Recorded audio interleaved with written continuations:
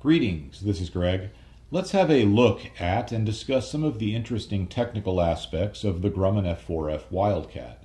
This particular Wildcat is in the terminal at Chicago's O'Hare Airport, and it's been configured to represent Medal of Honor winner Butch O'Hare's airplane. In my opinion, the Wildcat is the unsung hero of U.S. World War II naval fighters. It's largely overshadowed by the later and more powerful Hellcats and Corsairs. However, during the critical early years of the war, it was the Wildcat that was there. The Wildcats fought at the battles of Coral Sea, Midway, Guadalcanal, and others. It could be argued that by the time the U.S. brought in the newer naval fighters, the course of the war had largely been determined.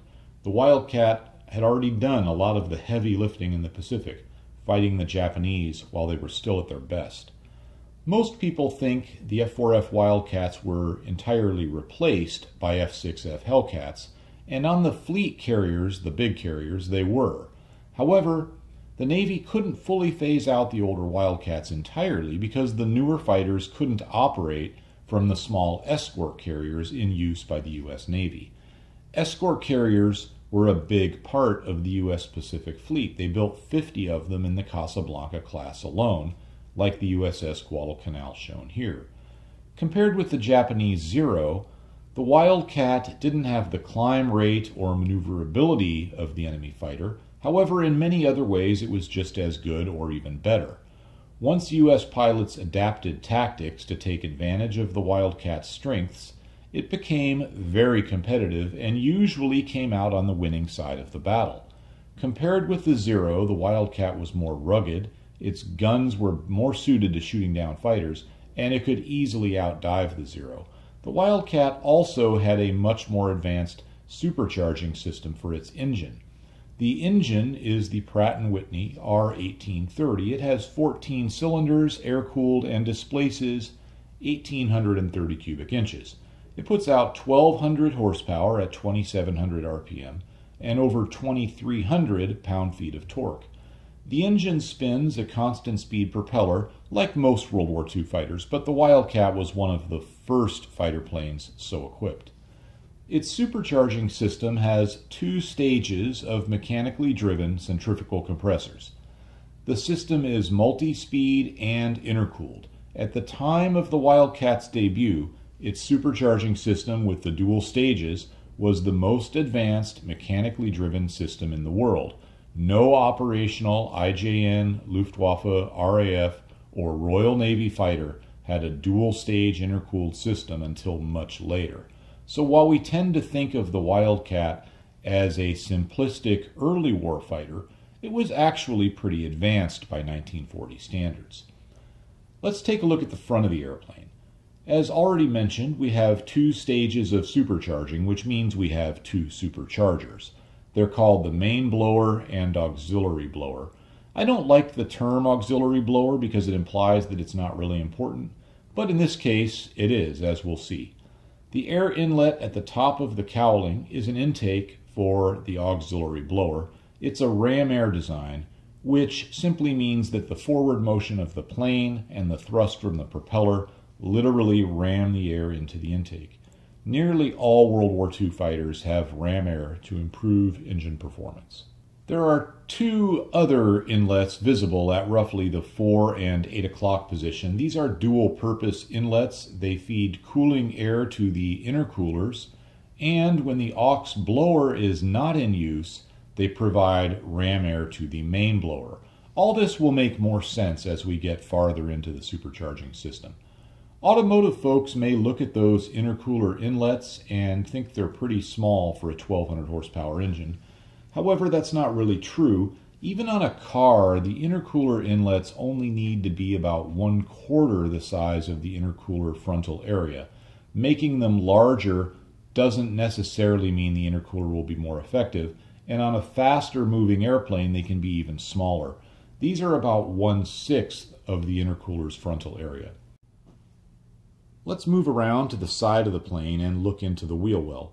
Here we can see the left side intercooler. It's a simple air-to-air -air unit, much like what you would find on a typical modern turbocharged automobile. The Wildcat has two of them, one on each side. I don't think it's supposed to be painted over, but this isn't an operational airplane, so it's no big deal either way. Paint will reduce the effectiveness of the intercooler a little bit, although maybe this was done on naval aircraft for corrosion protection. I'm not sure. Moving to the other side, we can see the right side intercooler. Notice the bulge in the cowling. That's there to provide clearance for the intercooler.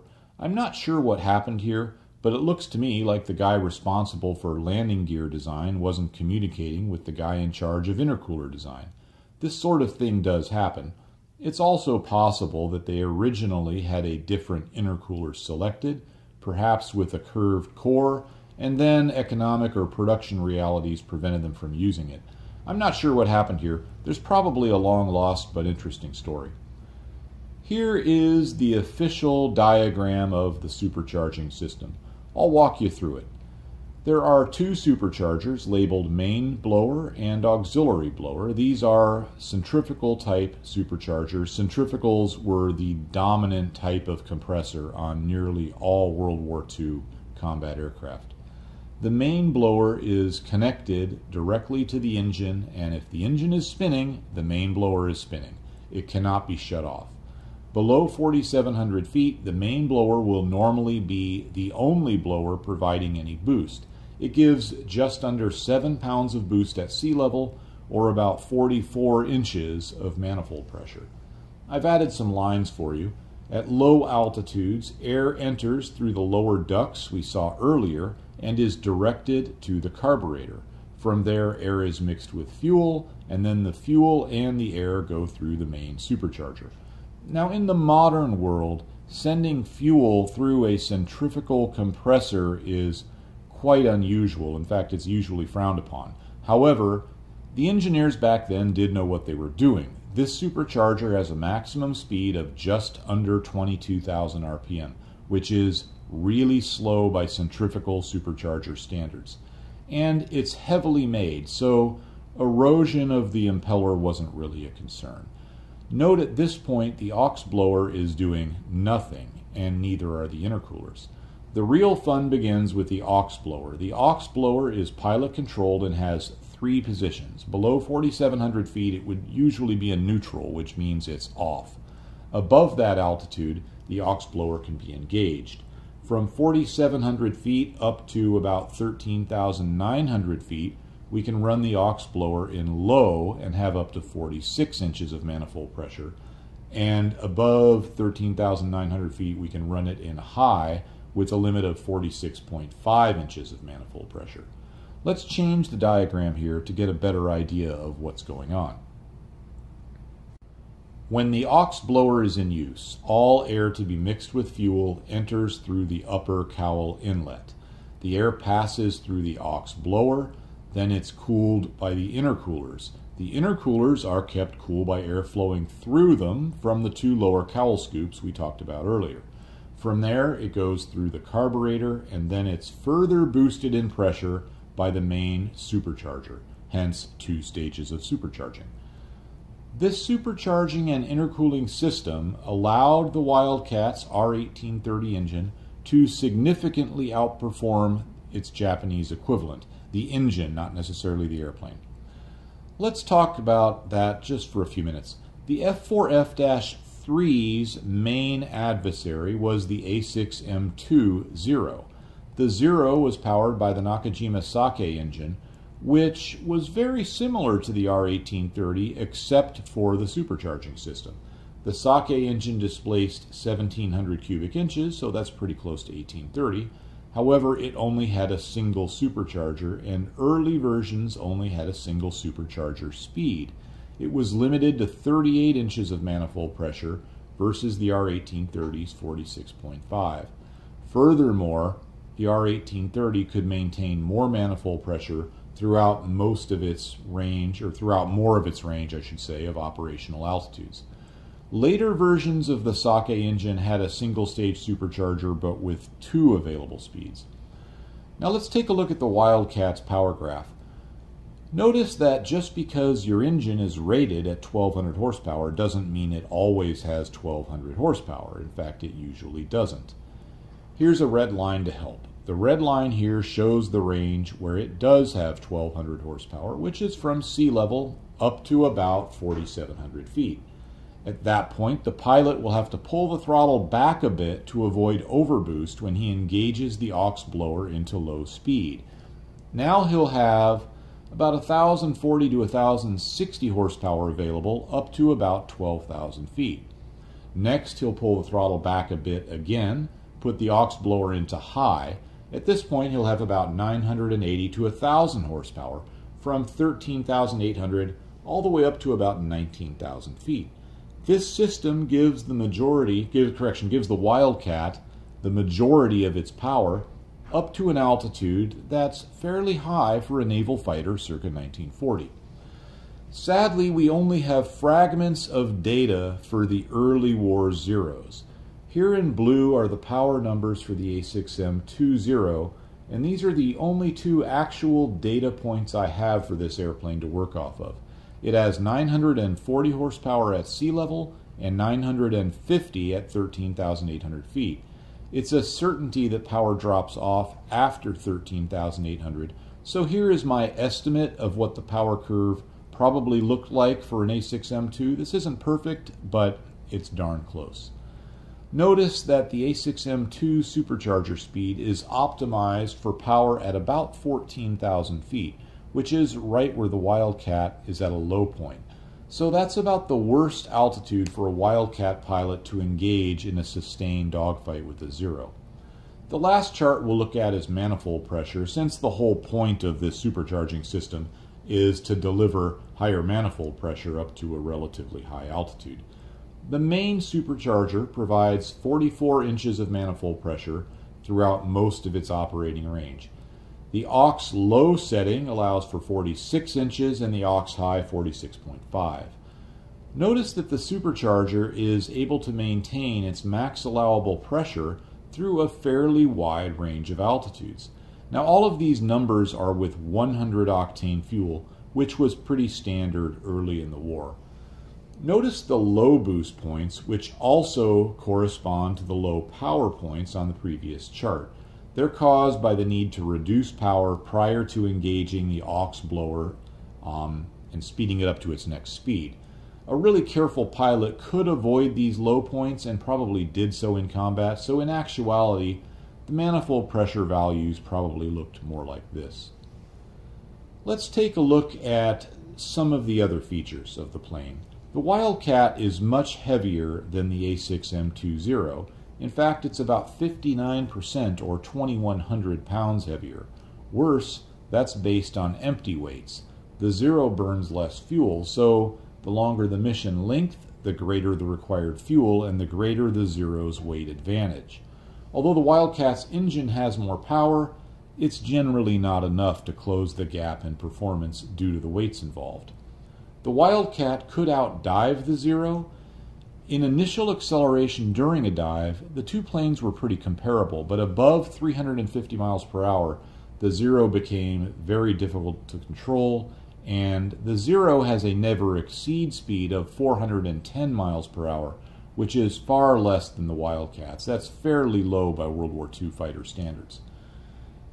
In terms of the Wildcat, it, it doesn't even have an actual never exceed airspeed because even pointed straight down, the plane is so chunky, its terminal velocity isn't fast enough to damage the airframe. In these conditions, it has a theoretical maximum dive speed of 547 miles per hour, which is just screaming fast, the fact that it can survive that speed shows how rugged the airframe is. Thus, the Wildcat can easily pull away from the Zero in a dive, and it's far more controllable while doing it. The Wildcat systems, other than the engine, are quite simple. The landing gear is operated by a manual crank. Moving around to the tail, we can see that although it's an all metal airplane, considered an all metal airplane, the control surfaces are fabric covered. That was quite common on World War II aircraft, and that continued right up to the jet age. These tabs I have circled are trim tabs. The pilot can position them from the cockpit to relieve control pressure. This is important because at different speeds and loading conditions, different elevator positions and rudder positions would be needed to maintain level flight. it would be very difficult or impossible to use enough force to control the plane under all conditions without trim tabs. And that's not an exaggeration. Planes have crashed due to trim tab failures. In fact, a few years ago at Reno, a P-51 crashed due to exactly this. It's very important to pilots for pilots to uh, check these trim tabs on pre-flight inspections. The left aileron has a trim tab, which is useful, especially if the twin wing mounted drop tanks are installed, because fuel could be burned out of those one at a time. Hence, the plane in those conditions would always be a little bit out of balance laterally. So, having aileron trim for a long flight with drop tanks was really nice. On the right wing, we have a trim tab, which is not cockpit controllable, but can be bent to mechanically trim the ailerons. This is used after the plane is first built and test flown because no two wings or sets of ailerons are going to be rigged perfectly, and this is how that unbalance was adjusted out. This is very typical in aircraft. It's also useful in setting the plane right after it's had wing damage repaired, which of course is important in a warplane. In this picture, you can see the flaps. They're the flip, they're the split flap design. That was very common on World War II fighters. This design is simple, gives a lot of lift, uh, but also gives a huge amount of drag. In the Wildcat, they're powered by the engine manifold vacuum. A vacuum reservoir was installed aft of the cockpit so that in the event the throttle was open and the engine was on boost, thus manifold pressure wouldn't be available, they would still be able to move the flaps to the selected position because of the reservoir. This system is very simple it's essentially idiot proof. Like the airframe, you can't damage these flaps by overspeeding them because if you do overspeed them, the air loads on the flap will overcome the vacuum in the actuating system and they'll simply be forced back up into the into the up position. Even better, they'll be forced up in a nice linear fashion so you won't find yourself suddenly sinking. I don't know of any other airplane that's so impervious to overspeed. Even the twin external drop tanks don't have a speed limit on this thing. The only system that can be damaged by overspeed is the engine. It's possible to windmill the propeller so fast in a dive that it suffers damage. However, even the engine has an allowance for that. The normal red line is 2700 RPM, but in a dive when, when windmilling, it's allowed to go to 3050. Back to the airframe, notice the position of the wing. It's mounted pretty high on the fuselage near the midpoint. This makes it pretty easy to quickly distinguish oh, the Wildcat from the later F-6F Hellcat. The two planes look similar, but the Hellcat's wings are mounted fairly low on the fuselage. If you're flying for the Japanese side in an online sim, telling these two planes apart is a big deal. They're totally different airplanes with very different capabilities. Back to the Wildcat.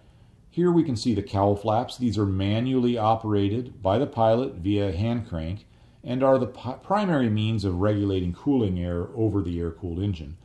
When fully open, they create a lot of drag and cost about 15 miles per hour in airspeed.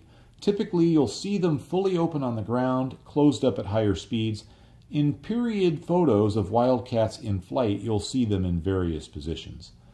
In this picture, you can see the cowl flaps on the other side of the wheel well. Operation of the landing gear via the hand crank is simple but not trivial.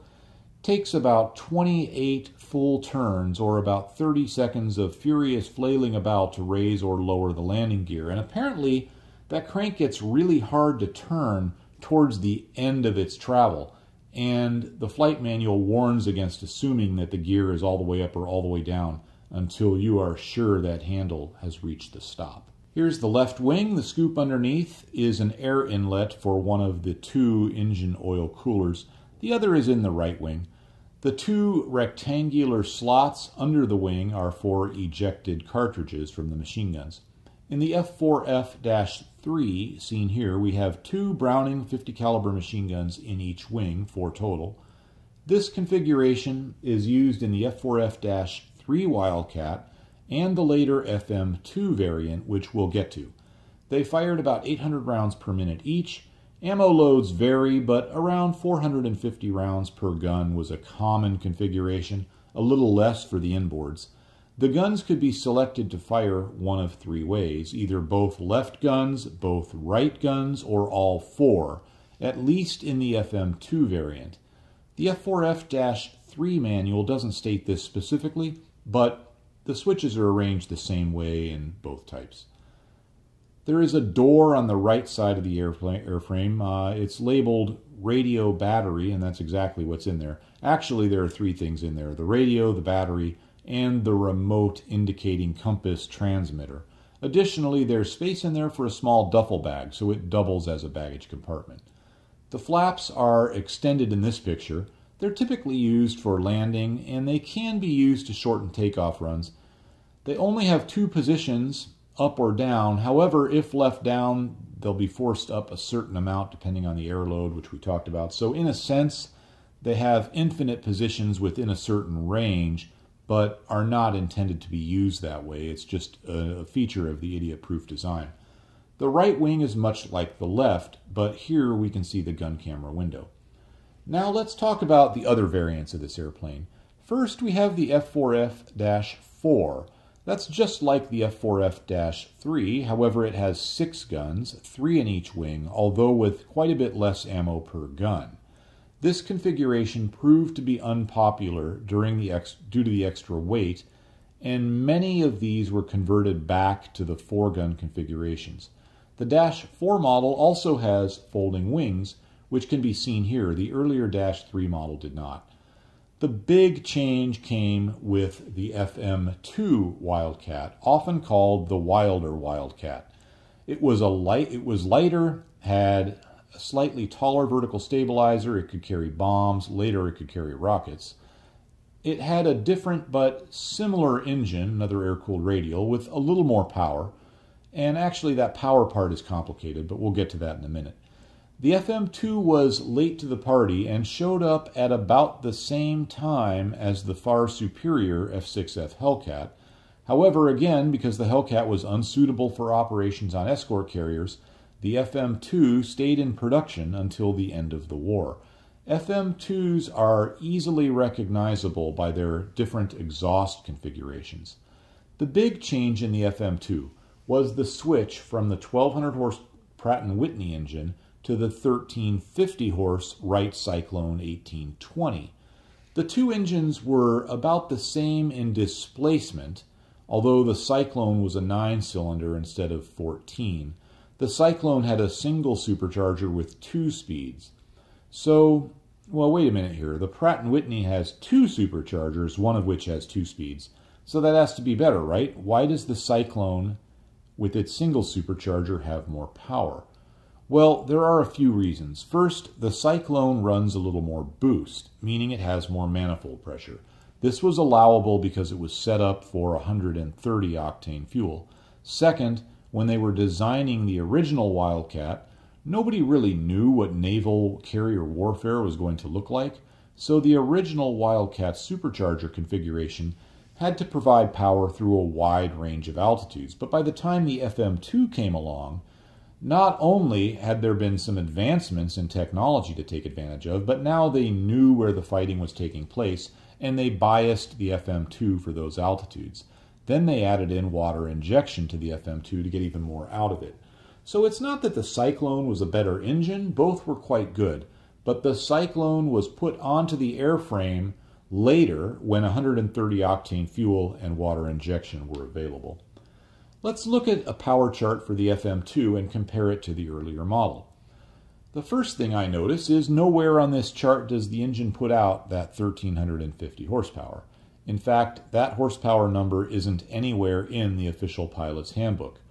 According to this official chart, at military power, the engine puts out about 1260 horsepower at sea level and peaks at about 1300 horsepower at about 3500 feet, and from there it starts to drop off.